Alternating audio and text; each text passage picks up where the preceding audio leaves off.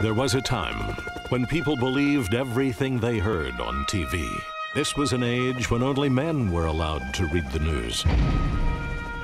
And one anchor man was more man than the rest. Good evening. I'm Ron Burgundy. Damn it! Who typed a question mark on the teleprompter? Hey, Garth, how's the divorce? Oh, not so good. I'll probably never see my kids. Fantastic. I'm not lonely. I'm beloved by everyone in San Diego. You're so wise. You're like a miniature Buddha covered in hair. What are your hopes? What are your dreams? What are your passions? To be the first female anchor. And I'd like to be King of Australia. Seriously, you sound like an insane person. I just got a call from Network, and the decision has been passed down to make Veronica our co-anchor. No!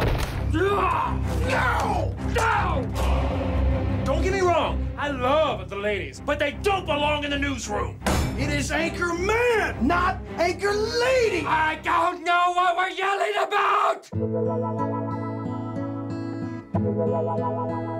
What if just for tonight we weren't co-workers, we were co-people? Oh, I'm storming your castle on my steed, milady. We should keep it relatively quiet around the station. Absolutely. I'd also like to share with you that we are currently dating, and that she is quite a handful in the bedroom.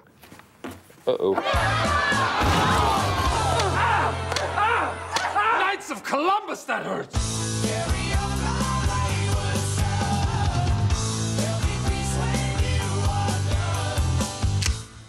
What are you doing on our station's turf, Burgundy? Come get a taste.